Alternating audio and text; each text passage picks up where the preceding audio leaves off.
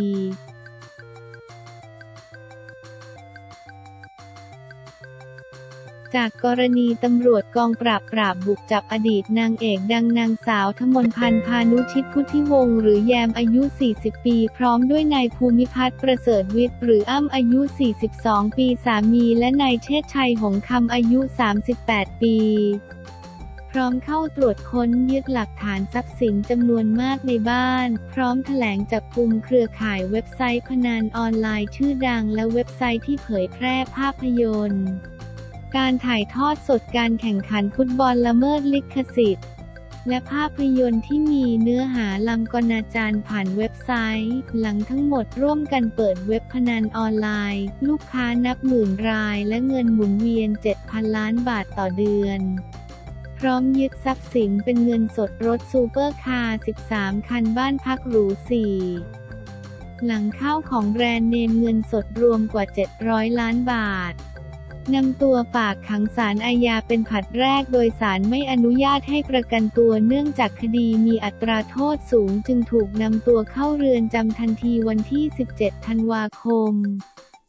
65 นางสาวโสรยาฤทธิอาราม ผู้อำนวยการทันทสถานหญิงกลางเปิดเผยยุถึงนางสาวทมนพันธ์หรือแยมอดีตนางเอกว่าเข้ามาถึงทันทสถานในช่วงค่ำเจ้าหน้าที่ได้อธิบายขั้นตอนการปฏิบัติตัว ซึ่งอดีตนางเอกให้ความร่วมมือดี ส่วนการนอนในทันทสถานหญิงกลางคืนแรกที่ผ่านมา พบว่านางสาวทมนพันนอนไม่ค่อยหลับเนื่องจากเป็นห่วงลูกคนเล็กเนื่องด้วยมีลูกเล็กวัยห้าเดือนจึงมีความคิดถึงลูก อย่างไรก็ตามเมื่อช่วงเช้าที่ผ่านมา นางสาวทมนพันธ์ยังมีสุขภาพร่างกายที่แข็งแรงปกติ ไม่มีอะไรที่น่าเป็นกังวลและมีการรับประทานอาหารมื้อเช้า ซึ่งเป็นเมนูรายการอาหารปกติของทางทันทสถาน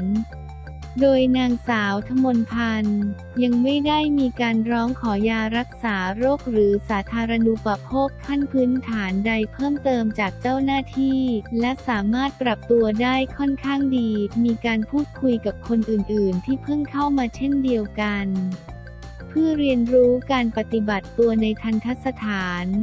นางสาวโสรยาเผยอีกว่าเบื้องต้นนางสาวทมนพันธ์ยังมีผลการตรวจโควิดลบ -19 เป็นปกติ และจะต้องอยู่ในห้องกักตัวของแดนแรกรับจำนวน 5 วันและหากครบกำหนดแล้วมีผลตรวจโควิดลบ -19 เป็นลบก็จะถูกนำตัวไปยังห้องกันชนอีก 7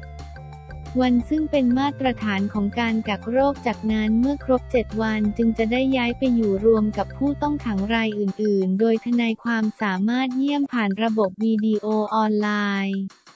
ซึ่งการมาเข้าพบลูกความถือเป็นสิทธิที่กระทำได้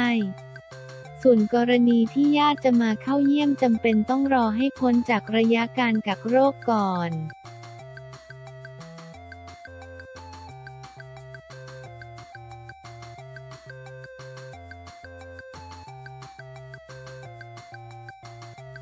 คิวต่อไปล่าบัญชีมาเครือข่ายเว็บพนันออนไลน์แยมทมนพันกองปราบปรามเร่งล่าตัว 5 ผู้ต้องหารับเปิดบัญชีมาให้เครือข่ายพนันออนไลน์แยมทมนพันกับสามีเจ้าของเว็บพนันเว็บโป้วันที่ 17 ธันวาคม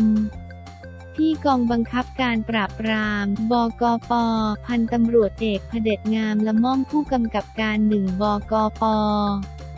เปิดเผยความคืบหน้ากรณีจับกุมนายภูมิพัฒน์หรืออ้ำประเสริฐวิทย์นางสาวทมนพันธ์หรือแยมพานุชิตพุทธิวงศ์อดีตนางเอกชื่อดัง และนายเชษชัยหงคำข้อหาร่วมกันเผยแพร่ภาพสื่อลามกนาจาร ร่วมกันจัดให้มีการเล่นหรือชักชวนผู้อื่นให้พนันออนไลน์ผ่านเว็บไซต์ ufa24s.net และ hd.star4k.com ว่าพนักงานสอบสวนได้ควบคุมตัวผู้ต้องหาทั้ง 3 ไปขออำนาจศาลอาญาฝากขังผลัดแรกตั้งแต่เมื่อช่วงเย็นวันที่ 16 ธันวาคมที่ผ่านมาทราบว่าเจ้าหน้าที่ราชทัณฑ์นำตัวไปคุมขังไว้ที่เรือนจำพิเศษกรุงเทพมหานครแล้วพันตำรวจเอกพเดชกล่าวต่อว่าส่วนทรัพย์สินหลายร้อยรายการ รวมมูลค่ากว่า 700 ล้านบาท ที่ยึดมาจากกลุ่มผู้ต้องหานั้นก็จะทำหนังสือแจ้งไปยังสำนักงานป้องกันและปราบปรามการฟอกเงิน ปปง พื่อขอให้ตรวจสอบที่มาของทรัพย์สินทั้งหมด เนื่องจากเป็นหนึ่งใน 29 มูลฐานความผิดของกฎหมายฟอกเงินขณะที่ผู้ต้องหาอีก 5 คนที่เป็นเจ้าของบัญชีมาให้กับเครือข่ายนสธมนพันธ์และสามีนั้นทางชุดสืบสวนกำลังเร่งติดตามจับกลุมโดยคาดว่าจะสามารถได้ตัวมาดำเนินคดีในเร็วๆนี้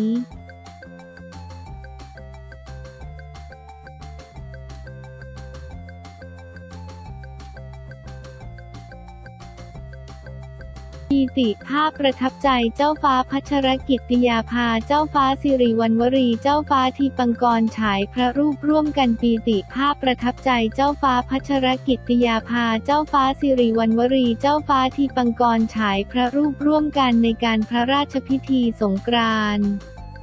พศ 2565 ณ วัดพระศรีรัตนศาสดาราม พระบรมมหาราชวัง เมื่อวันที่ 15 เมษายน 65 ผู้สื่อข่าวรายงานว่าเพจ Facebook HRS Princess สิริวัณนาวารีนารีราตานาราชกัญญาโพสต์พระรูปและข้อความว่าวันที่ 15 เมษายน พศ 2565 พระบาทสมเด็จพระเจ้าอยู่หัวทรงพระกรุณาโปรดเกล้าโปรดกระหม่อมให้ สมเด็จพระเจ้าลูกเธอเจ้าฟ้าพัชรกิติยาภานเรนทิรา เทพยวดีกรมหลวงราชสารินี สิริพัชรมหาวชราชธิดาเสด็จแทนพระองค์ ไปในการพระราชพิธีสงกรานต์พุทธศักราช 2565 ณ วัดพระศรีรัตนศาสดาราม พระบรมมหาราชวังในโอกาสนี้สมเด็จพระเจ้าลูกเธอเจ้าฟ้าสิริวัณวรีนารีรัตนราชกัญญา และสมเด็จพระเจ้าลูกยาเธอเจ้าฟ้าทีปังกรรัศมีโชตมหาวชิโรธมังกูลสิริวิบูลราชกุมารโดยเสด็จในการนี้ด้วย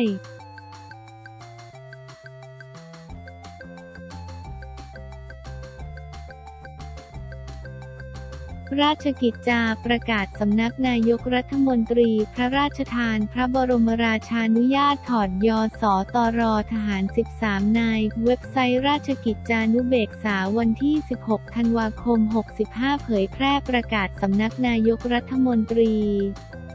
เรื่องพระราชทานพระบรมราชานุญาตให้ถอดยศตำรวจและเรียกคืนเครื่องราชอิสริยาภรณ์ 11 นาย และทหาร 2 นายเมื่อวันที่ 16 ธันวาคม 2565 เว็บไซต์ราชกิจจานุเบกษาเผยแพร่ประกาศสำนักนายกรัฐมนตรี เรื่องพระราชทานพระบรมราชานุญาตให้ถอดยศตำรวจและเรียกคืนเครื่องราชอิสริยาภรณ์ มีพระบรมราชองค์การโปรดเกล้าโปรดกระหม่อมพระราชทานพระบรมราชานุญาตให้ถอดยศข้าราชการตำรวจออกจากยศตำรวจจำนวน 11 ราย ตามมาตรา 28 แห่งพระราชบัญญัติตำรวจแห่งชาติพศ 2547 ประกอบระเบียบสำนักงานตำวจแห่งชาติว่าด้วยการถอดยศตำรวจพศ2547 ข้อ 1 2 และ 4 และทรงพระกรุณาโปรดเกล้าโปรดกระหม่อมพระราชทาน พระบรมราชานุญาตให้เรียกคืนเครื่องราชอิสริยาภรณ์ที่ได้รับพระราชทานทุกชั้นตราตามข้อ 6 และข้อ 7 2 และ 4 ของระเบียบสำนักนายกรัฐมนตรีว่าด้วยการขอพระราชทานพระบรมราชานุญาตเรียกคืนเครื่องราชอิสริยาภรณ์พศ 2548 ดังนี้เปิดอ่านราชกิจจาทั้งนี้ข้าราชการตำรวจทั้ง 11 รายดังกล่าวเป็นผู้ถูกถอนชื่อออกจากรายชื่อผู้ได้รับพระราชทานเครื่องราชอิสริยาภรณ์ตามประกาศสำนักนายกรัฐมนตรีที่เกี่ยวข้องแล้ว วันเดียวกัน เว็บไซต์ราชกิจจานุเบกษายังได้เผยแพร่ประกาศสำนักนายกรัฐมนตรีเรื่องพระราชทานพระบรมราชานุญาตให้ถอดยศทหารและเรียกคืนเครื่องราชอิสริยาภรณ์มีพระบรมราชองค์การโปรดเกล้าโปรดกระหม่อมพระราชทานพระบรมราชานุญาตให้ถอดยศนายทหารสัญญาบัตรจำนวนสองราย ออกจากยศทหารตามมาตรา 12 แห่งพระราชบัญญัติยศทหารพศ 2479 และที่แก้ไขเพิ่มเติมโดยพระราชบัญญัติยศทหาร ฉบับที่ 6 พศ 2501 ประกอบระเบียบกระทรวงกลาโหมว่าด้วยผู้ซึ่งไม่สมควรจะดำรงอยู่ในยศทหารและบรรดาศักดิ์ พศ 2507 ข้อ 2 และทรงพระกรุณาโปรดเกล้าโปรดกระหม่อมพระราชทานพระบรมราชานุญาตให้เรียกคืนเครื่องราชอิสริยาภรณ์ที่นายทหารสัญญาบัตรทั้งสองรายได้รับพระราชทานทุกชั้นตราตามข้อ 6 และข้อ 74ของระเบียบสำนักนายกรัฐมนตรีว่าด้วยการขอพระราชทานพระบรมราชานุญาตเรียกคืนเครื่องราชอิสริยาภรณ์พศ 2548 ดังนี้ เปิดอ่านราชกิจจา ทั้งสองรายดังกล่าวเป็นผู้ถูกถอนชื่อออกจากรายชื่อผู้ได้รับพระราชทาน เครื่องราชอิสริยาภรณ์ตามประกาศสำนักนายกรัฐมนตรีที่เกี่ยวข้องแล้ว